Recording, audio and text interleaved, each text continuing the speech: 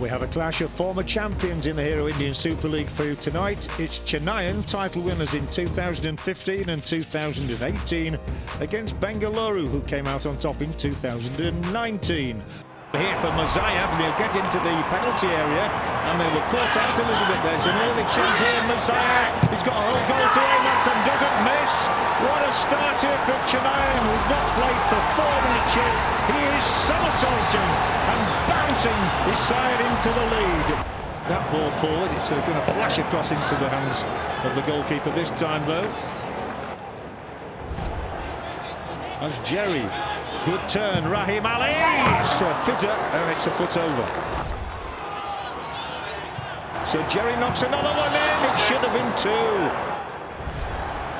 More than he's dangerous. Save made. It was a fantastic header as well. Shout for a handball.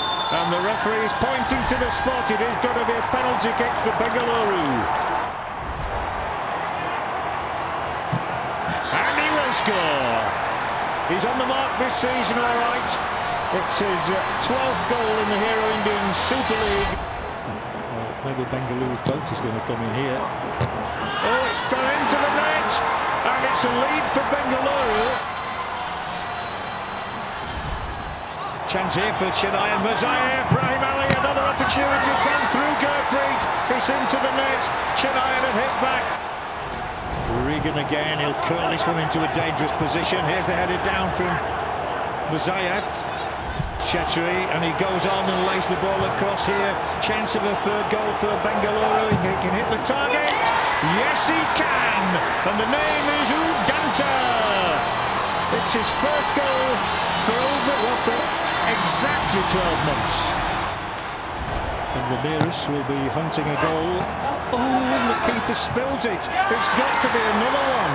And how many goalkeeping hours are we going to see tonight? And it's Pratik who is the beneficiary. I don't think even he can believe it.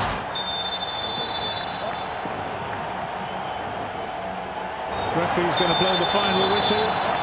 Still Chhetri chases that tough target of his, but uh, very happy Marco Pezzaiuoli, the coach. It's only the second victory of the season. but their names on a score sheet, which ends Chennaiyin 2, Bengaluru 4.